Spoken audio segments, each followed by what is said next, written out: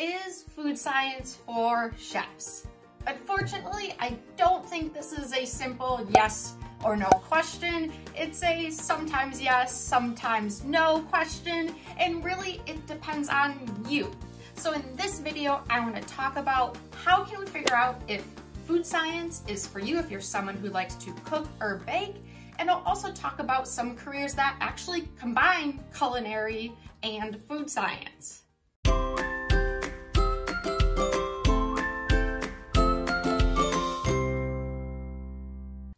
Has got to be one of the most common questions I receive from people. And today I went to check my inbox and had this email from Jack. And Jack writes that he is a current student of culinology, but now understands uh, the terrible hours chefs work, which is very true, long, very difficult hours. And now he is considering food science. And I think Jack's concern of long hours as a chef are uh, very, very true, right? When you're a chef, you work evenings, nights, holidays, basically when everyone else is enjoying themselves, you, the chef, are working, yes, giving them food. Food scientists, on the other hand, I would say mostly work nine to five. Sometimes they might have to do plant trials, manufacturing plant trials, but a much more regular schedule with, you know, the five weekdays. So being a food scientist versus a chef, you know, even though they both work with food, it's a very different job. So if you're thinking, should I be a food scientist? I actually will put some video links in the description because I have a lot of other videos talking about what is food science, but in this video, I want to cover the careers that combine food science and the culinary arts. And specifically, I'm gonna talk about what type of positions or jobs these are. If this type of job is right for you, how can you tell? What would your daily life be or what tasks are these roles responsible for? And then what sort of certificate or degrees do you need to get these, you know, part food science, part culinary jobs?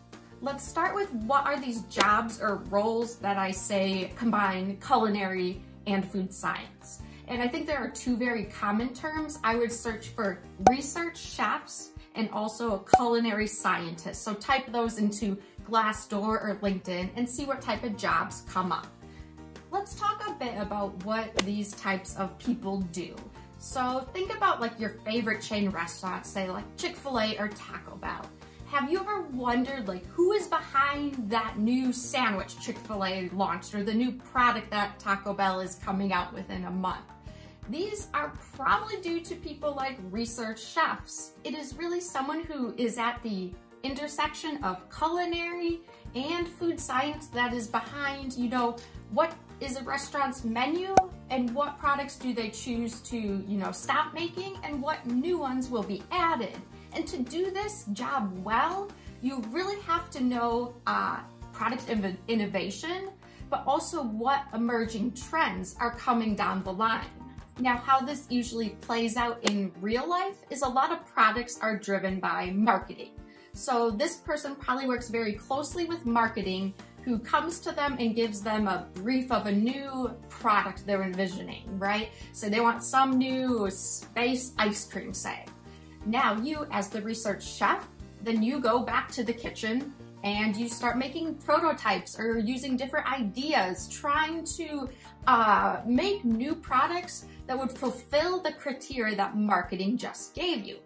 And then once you nail down, I don't know, three or four of these space ice creams, then you go back to marketing or a panel of food scientists or other people at your company and you say, here's my four prototypes for space ice cream. You do a little taste test. That's always fun.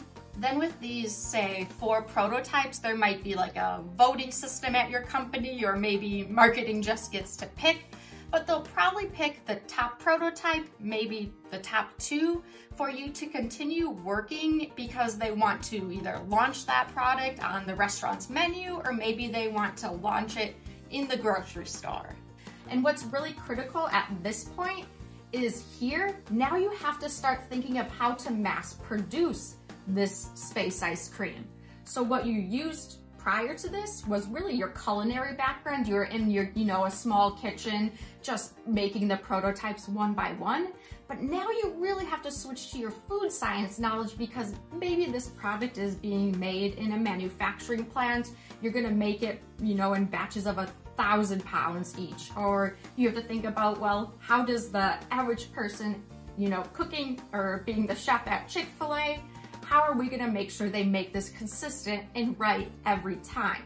So you kind of have to change gears. Really a research chef oversees this whole process, right? They get the brief from marketing and they start to make, you know, their new ideas on a very small scale, but they always have to be thinking, is the product I'm making, will I be able to upscale it to feed thousands of people to produce on a very, very large scale?